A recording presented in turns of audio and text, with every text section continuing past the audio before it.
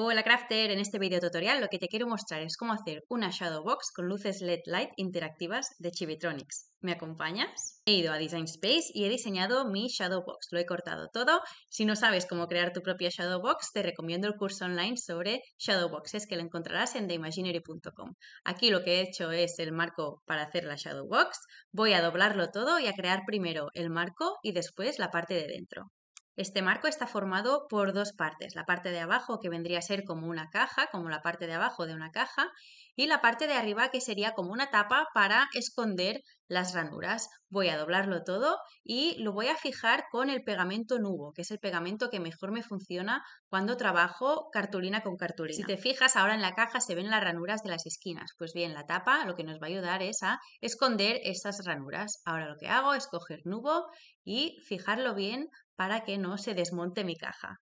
En cuanto tenga la parte de abajo ya lista, voy a proceder con la tapa. Lo que voy a hacer con la tapa es pegar las esquinas también con nubo para que me queden bien fijas y no se me desmonte la Shadow Box. Podría trabajar también con cinta adhesiva de doble cara, pero a lo largo de las pruebas y de utilizar ambas, lo que me da mejor resultado siempre es nubo. Así que lo pego con nubo, así evito que se me despegue.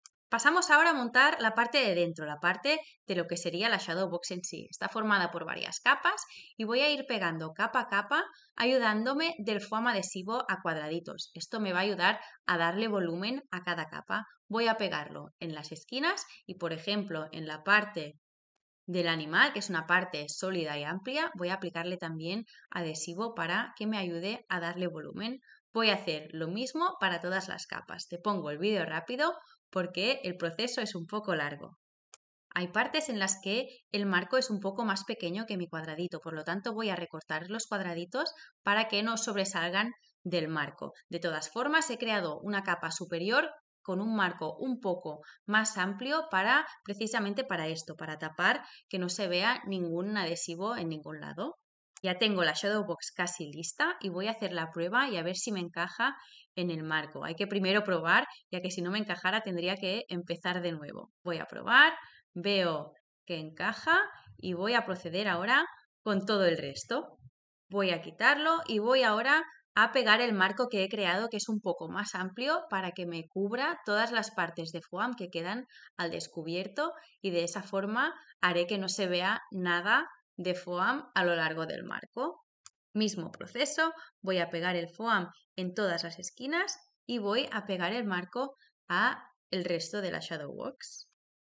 Una vez tenga la shadow box lista, lo que voy a hacer es pegarle un trozo de papel vegetal que me cubra la luna y las estrellas. ¿Por qué hago esto? En primer lugar, lo hago para que me difumine la luz que saldrá de las luces LED y en segundo lugar lo hago para que no queden las luces LED al descubierto ni el circuito. Por lo tanto, cojo un trozo de papel vegetal, cojo nubo, lo pego todo alrededor y pego esa parte de papel vegetal a la parte trasera de mi Shadow Box. Shadow Box lista y voy ahora a por el circuito, el circuito de luces LED.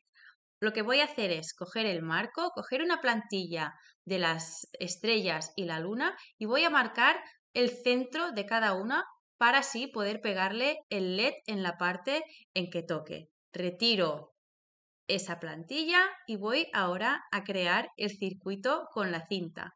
Lo que voy a utilizar son las luces LED de Chibitronics en color amarillo, la cinta conductora que me ayudará a que la energía de la pila vaya a las luces y se enciendan, voy a crear en primer lugar un circuito negativo, que es el que va por la parte de arriba de las luces, y después un circuito positivo, que es el que va en la parte más ancha. Para esta Shadow Box voy a crear un circuito paralelo con interruptor y a la que dé al interruptor se van a encender esas luces. Como ya tengo marcadas las guías de las estrellas y la luna, me es muy fácil crear ese circuito alrededor de esas imágenes. Ahora ya tengo el circuito negativo creado y voy a por el positivo. He pegado las luces para ver la distancia en que tenía que pegar la parte positiva del circuito, pero a la que pase la cinta por la parte de cada luz voy a levantar la luz y a pegar la luz encima de la cinta. La pila va pegada a los dos circuitos, al positivo y al negativo, voy a dejar uno pegado y el otro lo voy a dejar en la parte del interruptor suelto para que así cuando presione y la cinta toque a la pila haga conexión y se enciendan todas las luces. Fíjate bien también en la parte positiva y negativa de la pila. La parte positiva debe tocar el circuito, la cinta positiva del circuito positivo y la parte negativa debe tocar el circuito negativo. El circuito funciona. Voy a hacer la prueba con la Shadow Box delante. Veo que funciona bien y ahora va a ser hora de crear el interruptor para presionarlo y que se encienda la Shadow Box. Voy a retirar de nuevo y a crear ese interruptor. Ahora con la ayuda del cúter lo que voy a hacer es crear ese interruptor. Voy a hacer como un corte en rectángulo pero con una parte sin cortar para que no se suelte la pieza y a la que lo tenga cortado haré la prueba a ver si me funciona el interruptor o no. Es un poco risky, ya que si no me funciona tendré que crear la caja de nuevo. Ya lo tengo creado, voy a poner la pila en su sitio, más tarde la pila irá pegada, irá fija. Ahora tengo aquí, ves el interruptor, presiono a ver si se enciende mi caja de luces. En este caso, presiono y veo que sí que se enciende. Segundo éxito y voy a, a finalizar la Shadow Box. Le pongo también en la parte trasera foam para que no quede la cartulina muy pegada a lo que son las luces porque no se verían difuminadas sino que se verían un puntito y en este caso voy a pegarle dos capas de foam para que tenga un poco más de volumen. Ya te muestro mi Shadow Box lista, presiono y se encienden las luces, aquí te enseño el interruptor por donde presiono y se ve aún mejor a oscuras. Espero que te haya gustado el video tutorial y que si haces el tuyo me lo enseñes.